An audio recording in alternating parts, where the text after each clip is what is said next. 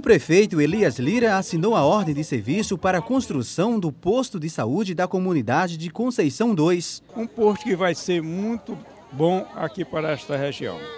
E aqui o loteamento Conceição 2 era um loteamento que realmente era esquecido pelo governo, o governo anterior.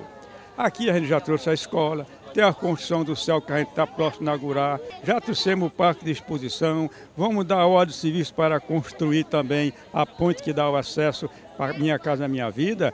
E a semana passada, o mês passado, a gente deu ordem de serviço para construir mais dois postos médicos.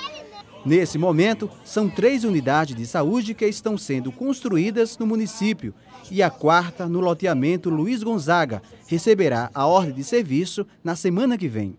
Fizemos é, a reforma de todas as unidades de saúde, as construções de novas e a gente não, o serviço não para. Apesar da dificuldade, a gente vai continuar, vai continuar acreditando, porque é na crise mesmo, né, que a gente tem que criar, a gente tem que, que tentar inovar e fazer muito, como eu já disse, com o pouco que a gente tem. A equipe continua sempre unida e a gente vai trabalhar muito para poder dar um, cada vez mais uma condição à nossa população.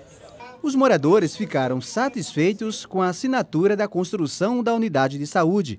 A dona de casa, Maria de Fátima, mora aqui desde quando o loteamento foi construído e ter um posto médico perto de casa vai melhorar a qualidade de vida.